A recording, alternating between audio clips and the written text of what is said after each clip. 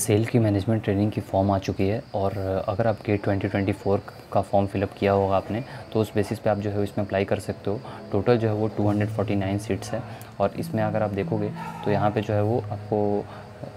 अगर आप OBC category से बिलोंग करते हो तो यहाँ पे आपको रिजर्वेशन क्लियरली देखने को मिलेगा कि टोटल सीट्स अगर 249 है तो यहाँ पे जो है वो अराउंड 27 परसेंट रिजर्वेशन जो है वो ओ बी कैटेगरी को यहाँ पे दिया जा रहा है। अब इस केस के लिए आपके पास जो है वो एक valid O B C N C L certificate होना चाहिए। तो उसके बारे में मैं यहाँ पे बात करूँगा। So watch this video till end ताकि आपकी जो भी डाउट्स होगी वो सारी क्लियर हो जाएँगी। और अगर आपने चैनल को अभी तक सब्सक्राइब नहीं किया है then please do subscribe the channel ताकि आपकी जो भी क्वेरी होगी वो बाद में भी आप जो है वो पूछ पाओगे और वीडियोज़ भी देख पाओगे ओके तो यहाँ पे आप देखो कि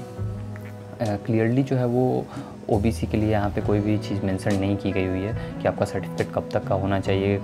वैलिड या फिर डेट क्या होना चाहिए। लेकिन एक बात जो है वो बस मेंशन की गई हुई है कि आप जो भी कैटेगरी चूज़ कर रहे हो मीन्स अगर आप ओ बी चूज़ कर रहे हो तो ओ बी का आपके पास जो है वो सर्टिफिकेट होना चाहिए वाइल फॉर्म फिलिंग अगर आपके पास सर्टिफिकेट नहीं है ओ बी का वाइल फॉर्म फिलिंग और बाद में आप जो है वो कैटेगरी चेंज नहीं करा पाओगे तो इस बात का भी आपको ध्यान रखना है कि कोई भी जो है वो कैटेगरी चेंज नहीं होगी।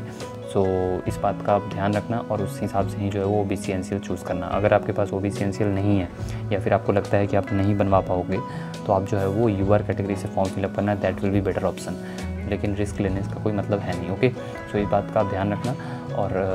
अब जो है वो टेंटेटिव मैं आपको बता देता हूँ कि जो सर्टिफिकेट है वो आप अगर कब तक का सर्टिफिकेट है तो आपका चलेगा। देखो, ये सा जो है वो एक पेज का फॉर्मेट रहता है यूजुअली और सेंट्रल गवर्नमेंट का आपको सर्टिफिकेट का फॉर्मेट रिक्वायर्ड होगा। और ये सर्टिफिकेट आप जो है वो यूजुअली दो टाइप के केसेस में आपको बता दे रहा हूँ, जो कि मैक्सिमम चांसेस है कि ये जो 2024 का है ना तो 2024 के गेट के बेसिस पे हो रहा है। तो आपका सर्टिफिकेट अगर फ़र्स्ट अप्रैल 2023 के बाद बना हुआ हो तो चलेगा ओके और अगर आपके पास पुराना सर्टिफिकेट नहीं है फ़र्स्ट अप्रैल 2024 के बाद 2023 के बाद बना हुआ तो आप एक नया सर्टिफिकेट बनवा सकते हो, एक अप्रैल 2024 के बाद बना हुआ। तो यूजुअली ये दोनों सर्टिफिकेट्स जो है वो अगर आपके पास हैं तो आपको घबराने की कोई भी प्रॉब्लम नहीं है। आपका जो है वो ड्यूरिंग डॉक्यूमेंट वेरिफिकेशन कोई भी प्रॉब्लम नहीं होगी। और फॉर्मेट जो है मैंने आपको दिखाया है, ये स्टैंडर्ड फॉर्मेट है ऑल ओवर इंडिया में यही चलता है सेंट्रल गवर्नमेंट के लिए। और सेल जो है वो, उसके लिए भी आपको ये एक्सेप्टेबल रहेगा।